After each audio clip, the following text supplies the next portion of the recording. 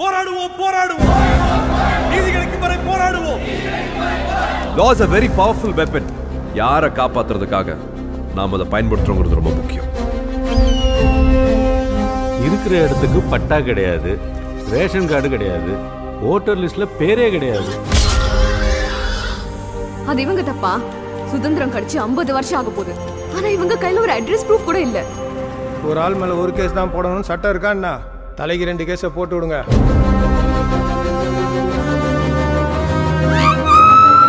பாதிக்கப்பட்டவங்க யாரா இருந்தாலும் எத்தனை பேர் இருந்தாலும் அவங்களுக்கு நீதி கிடைக்கணும். அதை உறுதி செய்யறது இந்த நீதிமன்றத்தோட தார்மீக கடமை. ராசா கண்ணு மொசக்குட்டி இருட்டப்ப இந்த மூணு பேரும் habitual offenders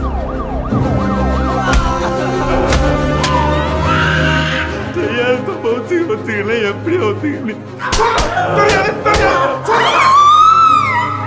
has been continuously foul playing this case. திருநகை வச்சு பணம் வாங்கினது எவிடன்ஸ் இருக்கு மூணு பேரும் வெளியூர் தப்பிச்சு போனதுக்கு ஐ விட்னஸ் இருக்கு திருட்டு பசங்களை ட்ரைபல்னு சொல்லி பாலிடிக்ஸ் பண்ணாதீங்க இல்லை சார் அந்த கேஸை நான் அதுவும் தப்பாக ஹேண்டில் பண்ணுறேன்னு தோணுது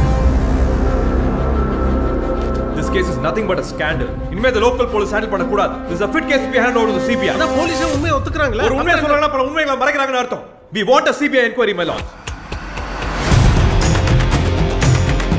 Case is getting bigger day by day. CM கவனத்து போகிறதுக்குள்ள இந்த கேஸை நம்ம முடிச்சாகணும். தப்பு பண்றவங்களுக்கு பதவி பணம் ஜாதின்னு நிறைய இருக்கு சார். பாதிக்கப்பட்டவங்களுக்கு நாம தானே இருக்கோம். அந்த நாலு குடிசையும் கொளுத்தி விடுறதுக்கு எம்ம நேரம் ஆயிடும். ஆ? ஜனநாயகத்தை நிலைநிறுத்தணும்னா சில நேரங்களில் சர்வாதிகாரத்தை கையில எடுத்து தான் ஆகணும்.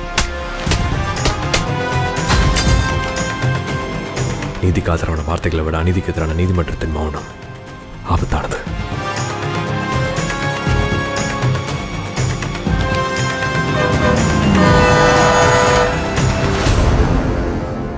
சந்துரு பத்து நாள் என்னத்தை சாதிச்சிட்டு போறீங்க? ஒரு இன்னசென்ட் ட்ரைபல் உமனுக்கு ஜஸ்டிஸ் கிடைக்கணும்னு போராடுறேன். கோர்ட்ல நீதி கிடைக்கலனா ரோட்ல இறங்கி போராடுவேன். போராடுறதுக்கு லா எனக்கு ஒரு வெப்பன் தட்ஸ் ஆல்